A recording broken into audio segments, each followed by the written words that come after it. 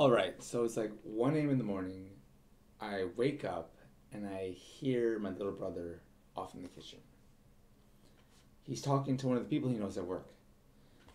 And I'm thinking to myself, I'm like, hmm, what am I doing here? Why am I in this house? Why did I leave Spain?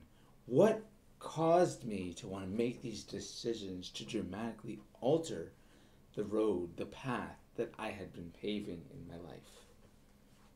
Was it coronavirus? Was it losing my job? Was it having no money?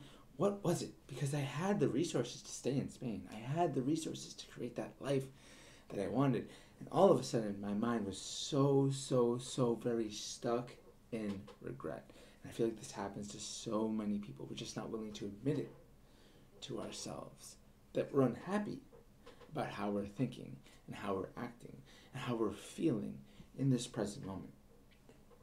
I just want to say that you have control over these thoughts, these feelings, and these actions. You have control over the way you feel. And at the end of the day, because I woke up again, went back to sleep, it's not like I got up when I was feeling this way. It's not like I got up and started doing something about it. I just went back to sleep because that's the normal reset button. It always makes the feelings go away. But when I woke up again, guess what? No negative feelings. No feelings of regret. Everything was wish washed away. But you know what I lost in the trade for it? I lost a lot of time that could have been productive. Time where I would have entered the operating system and reprogrammed some of those thoughts that would have led me to some of those actions. Because, look, we all want to make something better of our life. At least I would hope we would all want to make something better of our life. It'd be pretty crap if we're trying to like go out there and like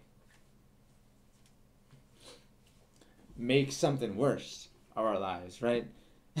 hey, Loki, that's me. I swear, has to be me.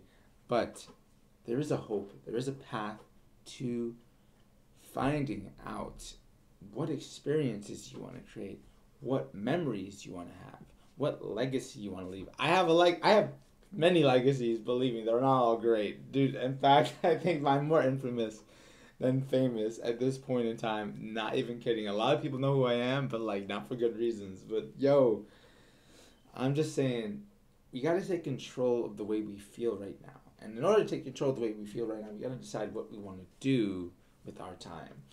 And when we're talking about working, when we're talking about living, when we're talking about creating, it's not about doing that stuff. It's about figuring out what you want to do, man. And do you really want to be like, oh, I want to be, I want to be like one of these big media influencers. I mean, if you want it, do it. Go after it. I, I, I watch these videos, man, and they're entertaining. But like, I look at myself and I'm like, dude, man, I could never, ever, ever make content like that. I can never do it. It just doesn't make sense. It doesn't compute in my brain. So I'm like, yo, what am I gonna do? What am I gonna do? Who am I gonna be? Where am I gonna go? And I'm sitting here and I'm thinking, I don't even want to stream anymore, man. It's so late in the day, man. What's the point of even trying, man? There's there's nothing that I could do that's ever, ever, ever gonna like get me to that big influential point where all these great things are happening in my life. what am I saying? I've already had all these great things happening in my life and I've like made decisions.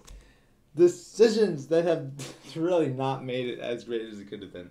But I mean, you know, it's not just me, not just you. We all making mistakes, man. We all making mistakes, and mistakes are okay because mistakes are you and me kind of thing. We're in this together. It's a human experience, a series of individualized experiences headed in one direction in order to make you a better person. But don't you don't gotta wait until like legit you're 30, 30 years old. I'm feeling 25 right now, man. Yeah, I'm feeling 25 right now, man. And I can say this that it ain't easy feeling 25 and I've started from the bottom. Now we here. No, we ain't. We ain't here, and we ain't getting there anytime soon, man. I've started a path. I've started building a path, a path that I like, and then like I have no idea what I'm doing, man. But anyway, yo, I'm gonna end it right there. Thank y'all for listening to this quick little rant about feelings in the morning. I'm gonna keep doing this stuff. Real talk, get Genki.